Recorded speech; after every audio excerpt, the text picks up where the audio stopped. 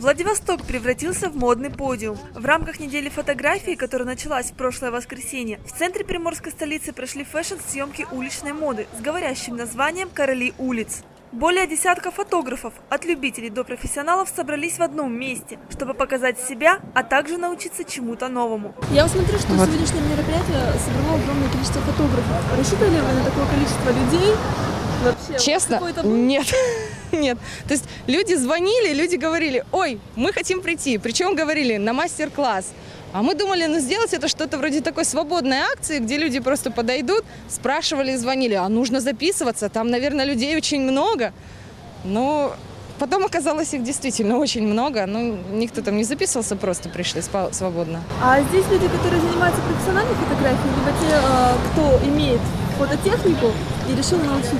Есть и те, и другие, есть и наши ученики бывшие, и нынешние. Я думаю, много будущих. Есть люди без техники, они очень хотят заниматься фотографией и просто вот пришли и говорят, мы хотим заниматься, можно мы посмотрим, как это делается. Хорошо, смотрите. В качестве модели были приглашены девушки из известных модельных агентств города.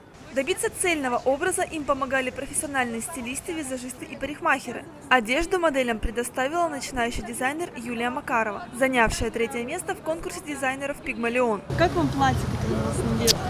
Мне очень нравится, особенно когда ветер. Куда бы вы днем пошли? На я... какое мероприятие? Я даже не знаю. То есть оно носительно, в принципе? Ну, может быть, одела бы, да, на какой-нибудь вечер. Нас сразу же приняли стилисты, визажисты, сразу одели, накрасили, сделали прически. То есть, ну, все это как бы нормально было, то есть не без всякой разной спешки, то есть все хорошо вроде было. Вы почувствовали себя звездой? Я да. Без комментариев просто. Правильно поставить свет, изучить различные виды съемок, научиться работать с моделями. Освоить все это помогали профессиональные фотографы.